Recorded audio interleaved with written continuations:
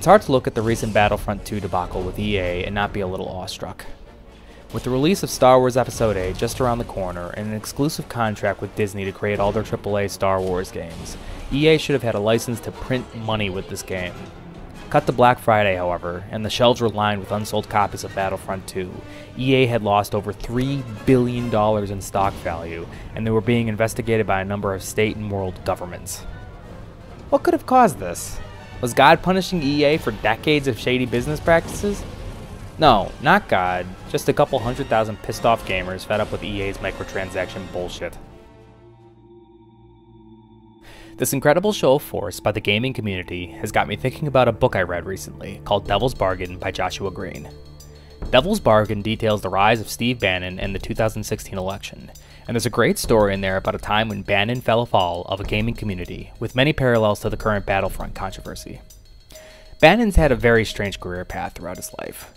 He went from being a Navy officer to an investment banker to a Hollywood producer, and then in 2005, he decided to go to Hong Kong to work for a company called Internet Gaming Entertainment, or IGE.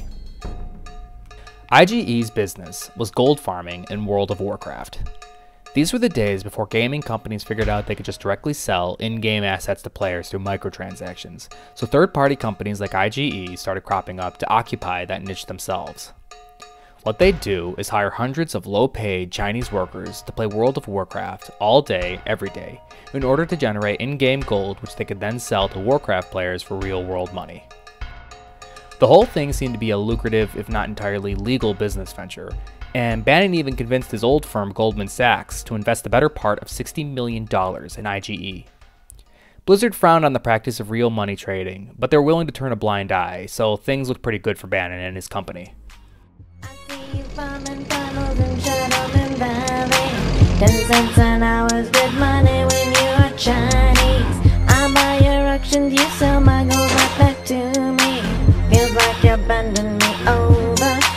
Blizzard players didn't.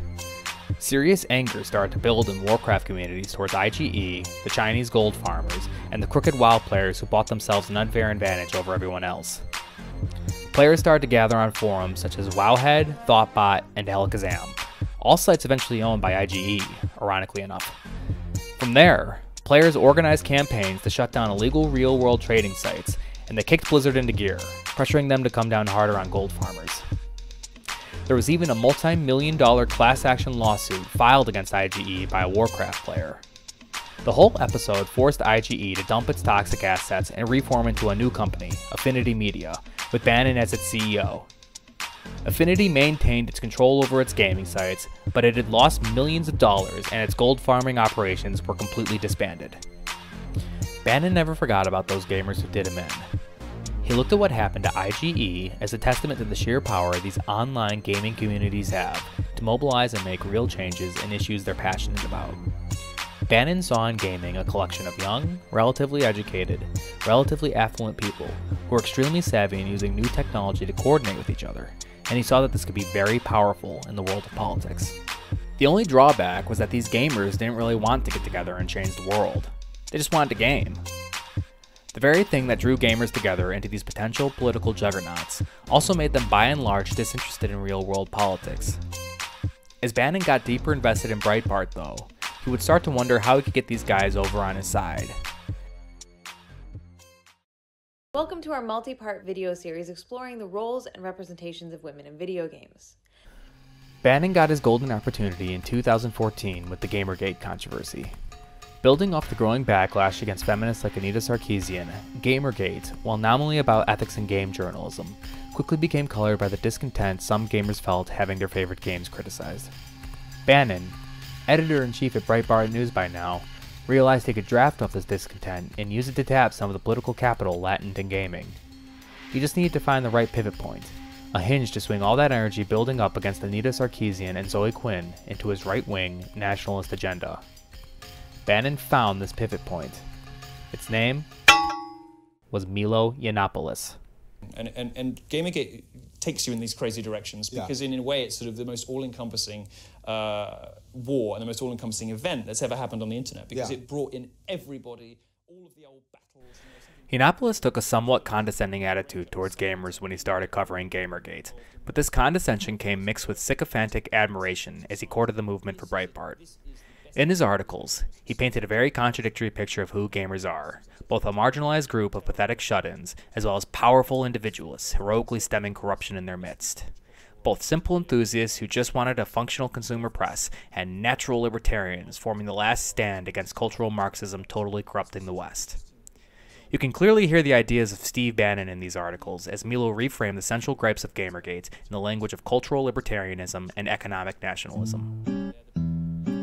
What started on Twitter as, it's about ethics in game journalism, transformed into, Gamergaters should concentrate on the very real concerns they have and have had for a decade with a press that, swamped with discredited far left ideology and unintelligent, poorly trained writers, refuses to tell basic truths. Anita Sarkeesian is annoying became industry after industry is toppled over. Publishing, journalism, TV, all lie supine beneath the crowing, cackling, censorious battle axes of the third wave feminist and social justice causes. Breitbart's traffic exploded after Gamergate, and Bannon was able to use those numbers of tech savvy new readers to help him bombard social media and plant his ideas into the mainstream. He used them to shape the narrative around the election the same way he used Milo Yiannopoulos to shape the narrative around Gamergate. There were a myriad of factors that went into Trump's winning in 2016, but one that must be counted is how Bannon was able to harness the political capital lying dormant in gaming communities and transform it into Trump's personal online vanguard, aka the alt right.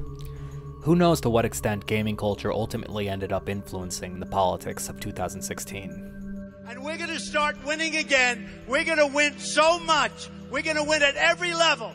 We're going to win economically. We're going to win with the economy. We're going to. Looking back at Yiannopoulos' Gamergate articles, I kept noticing how he repeatedly emphasized that Gamergate is inherently non political. He promised his readers not to be like those nasty SJWs. He promised he wouldn't try to stamp gaming with his personal politics, even though that was his and Bannon's intention all along. This makes sense as a strategy, I guess. Gamergate was started largely by people who were sick of having feminist critiques put to their favorite games, people who just wanted gaming to be unmarred by the real world muck of politics. I don't think this was ever possible on a theoretical level. Politics touches everything in some way. But if there's anything this story shows us, it's that it's no longer possible on a practical level either. Video games are a huge industry, its consumers are a young and growing demographic, and when this community flexes its muscles, it can cause billions of dollars to evaporate.